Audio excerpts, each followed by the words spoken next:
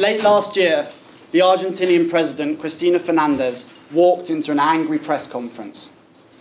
There had been riots, looting, vandalism across the country. The country was a mess. Why? One of the reasons was that the police had been on strike. Because at that time, in Argentina, police wages were linked to the official rate of inflation. And so that when the government said that prices are going up 10% a year, it also meant that wages go up 10% a year. But what every policeman and almost everyone else in the country knew was that actually, when they went to the local shops, prices were going up two, three times as quickly. So that in real terms, they were able to buy fewer and fewer goods with their monthly salaries. They were getting poorer. So they went on strike.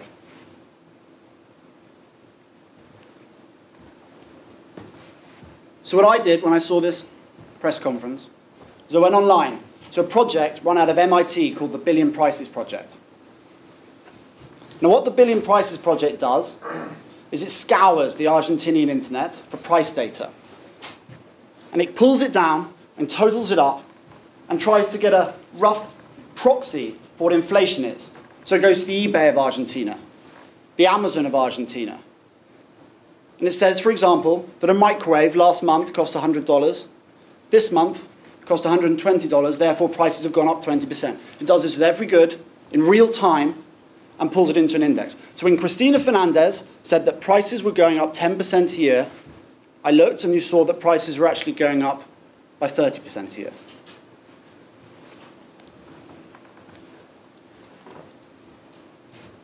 Now, we have the ability to hold her accountable and say, not only are you the cause of the riots fanning out across your country, but you are lying to your people.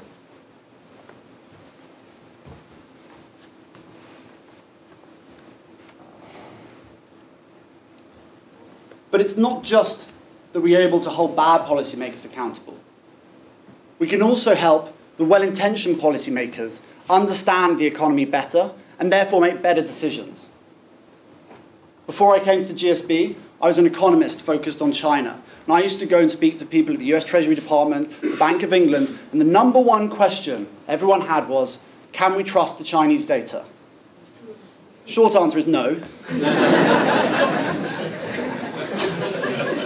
but it's not really because the government is manipulating the data, although they do that a little bit. It's mainly because China is such a vast and fast changing economy that the government themselves don't have the tools to collect accurate and timely data. And one of the key data sets is trade, exports and imports. How much is coming out of the country, how much is going into the country. And this is such a critical gauge because it allows you to get an insight into the health of the Chinese economy. But more than that, because China is the world's largest exporter, it's a wonderful gauge, an insight into the health of the global economy but we couldn't trust the numbers. So what we did is we went online and we looked up this data, AIS data. And what AIS does is it tracks in real time the location of ships across the oceans. And so you can pull it up and watch the ships move across the oceans. And so what we did was counted. One, two, three, four, we counted them up, and when you total that and tally that with what's on those ships, you can get a pretty accurate picture of what's going on in China's trade in real time. So that at the beginning of 2013, when the official data was showing that China's trade picture was improving, we knew it would only be temporary because the ships weren't there. But it's more than just helping out to policymakers in developing countries It's also developed markets too. Here, in the US, for example, late last year, the US government shut down. We had 800,000 workers temporarily out of a job.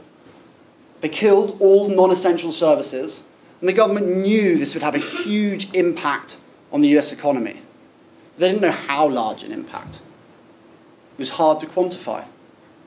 And this is critical in the US, because in the US, consumer spending accounts for over 70% of GDP but they didn't have a way of understanding the impact of the shutdown on the consumer economy.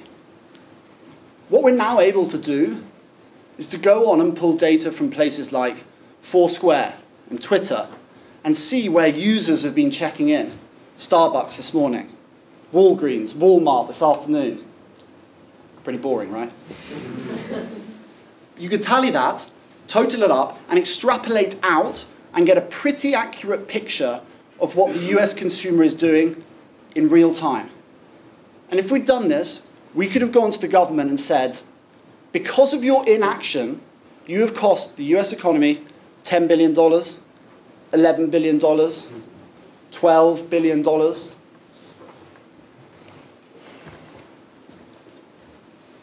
Five years ago, we had no way of disproving the claims of President Fernandez. We had no way of double checking the Chinese trade data. We had no way of quantifying the impact of US government inaction. And now we do. I want to repeat this point because I think it's really important. Now, we have the ability to hold bad policymakers accountable and to help good policymakers make better decisions. We have that ability, but we're not using it.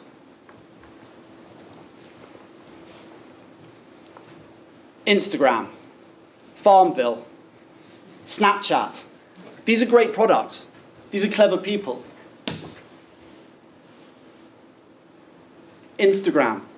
With that, people across the world can share experiences, they share photos. Farmville, people let off steam, play some games.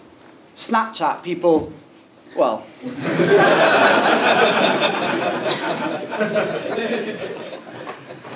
but wouldn't it be amazing if we took our combined intellect, time, and resources and focused them on something bigger, if we had startups that were calling out politicians, if we had startups that helped investors with better, more timely, accurate uh, data make better investments in education and health.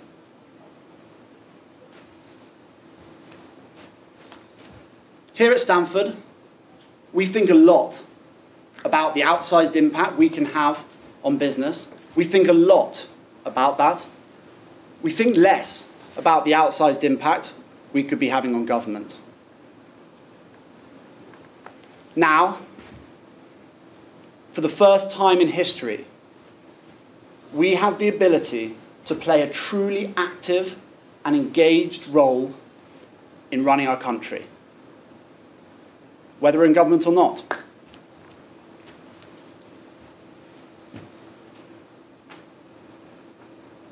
And so I ask you, if you're interested in helping to run a business, might you also be interested in helping to run a country? Thank you.